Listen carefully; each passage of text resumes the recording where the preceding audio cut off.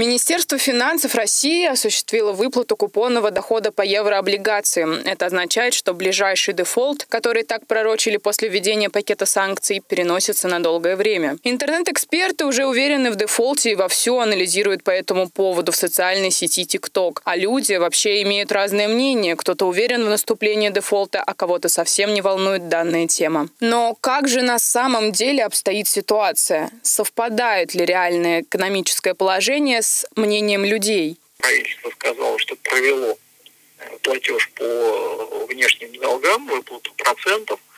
И по разным сведениям э, получается, что в ближайшее время возможность выплачивать деньги по внешним долгам будет э, сохраняться.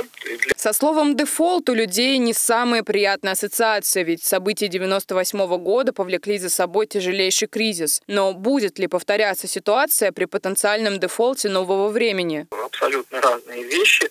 Дефолт, который может возникнуть сейчас по внешним обязательствам, э, внутренних субъектов экономики не заденет никак. Что же ждет экономику России в недалеком будущем? Как относятся люди к слухам о возможном дефолте? И значит ли что-нибудь он для обычных граждан?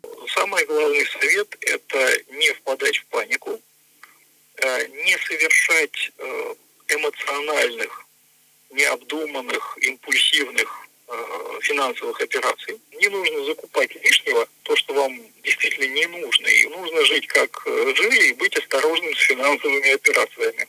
Напомним, что правительство России уже подготовило комплекс антикризисных мер более чем на 1 триллион рублей. Валерия Карташова, Фарид Захид оглы, Univer News. Thank you